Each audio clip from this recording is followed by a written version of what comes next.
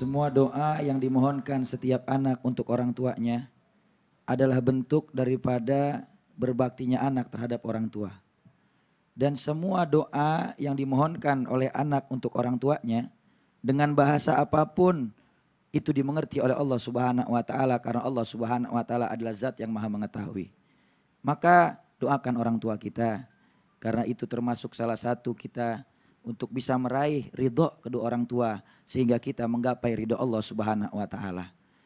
Apabila orang tua kita masih hidup, maka bacalah doa yang biasa diajarkan salafun saleh kita setelah selesai ba'da salat. Rabbi firli wali walidayya warhamhuma kama rabbayani shaghira. Bareng-bareng ya Bu ya. Bismillahirrahmanirrahim. Bismillahirrahmanirrahim. Rabbi gfirli. Rabbi firli wali walidayya. Wali walidayya. Warhamhuma. Warhamhuma. Kama rab. Kama bayani sagira.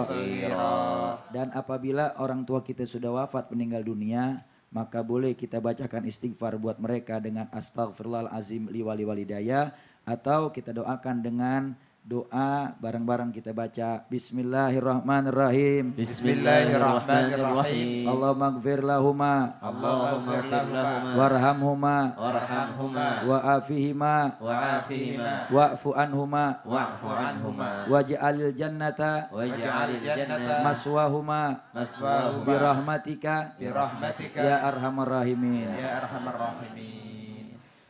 Jemaah yang dirahmati Allah Subhanahu wa taala. Kullu dzunubi yuakhiru ila yaubil qiyamah. Setiap dosa pembalasannya pasti diakhirkan sampai ila yaumil qiyamah. Illa uququl walidain. Kecuali durhaka kepada orang tua.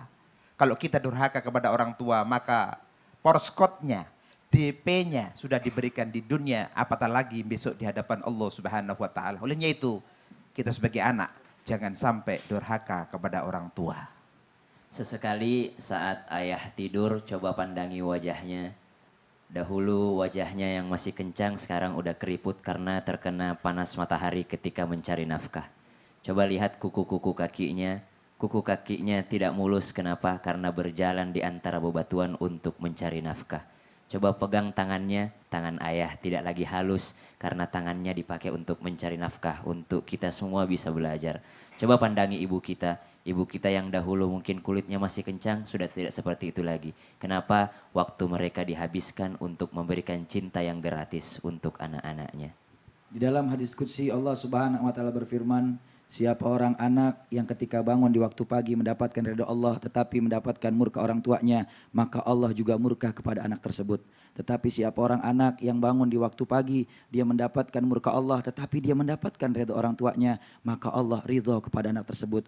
Maka kita sebagai anak tugasnya berbakti kepada orang tua, cari ridhonya orang tua karena itu tiket kita menuju surganya Allah Subhanahu wa taala. Masya Allah, Alhamdulillah terima kasih yang sedalam-dalamnya untuk guru-guru kita yang tercinta. Terima kasih Alika udah datang ke Islam itu indah. Sama-sama. Masya Allah, terima kasih jamaah yang sudah menyaksikan Islam itu indah. Ya Allah, begitu indah ajaran Islammu. Sampai ketemu lagi besok ya jamaah. Wassalamualaikum warahmatullahi wabarakatuh. Waalaikumsalam warahmatullahi wabarakatuh.